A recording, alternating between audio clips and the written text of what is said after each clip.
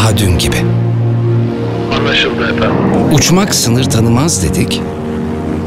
İlk olmanın heyecanıyla uçtuk.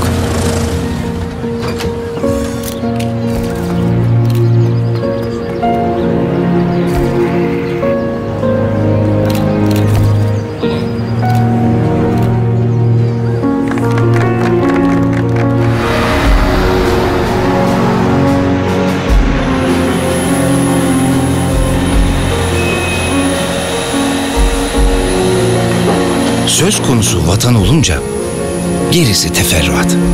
Uçaklarımız hazır oldu, göreve uçtuk. İnsanları birbirlerine kavuşturmak tamam. Ama gün geldi, vatanlarına kavuşturmak gerekti. Cesaretle uçtuk.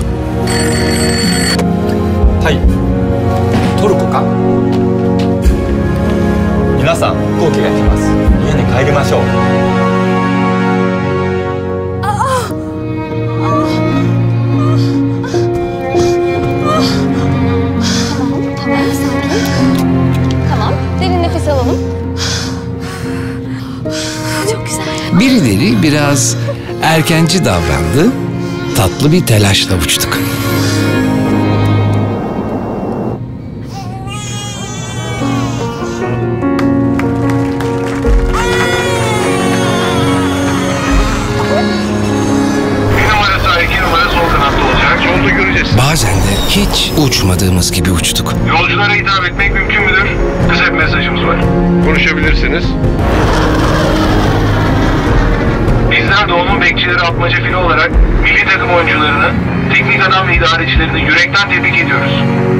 Bizlere yaşattığınız bu güzel duygular için sağ olun. Yolunuza hoş geldiniz. Dünyanın en çok ülkesine uçmak rakam değil, gönül meselesiydi. Kimselerin uğramadığı o yere biz uçtuk.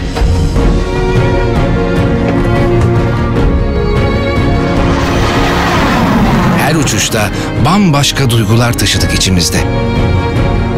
Ama her seferinde bu bayrağı taşımanın gururuyla yükseldik gökyüzüne. Türk Hava Yolları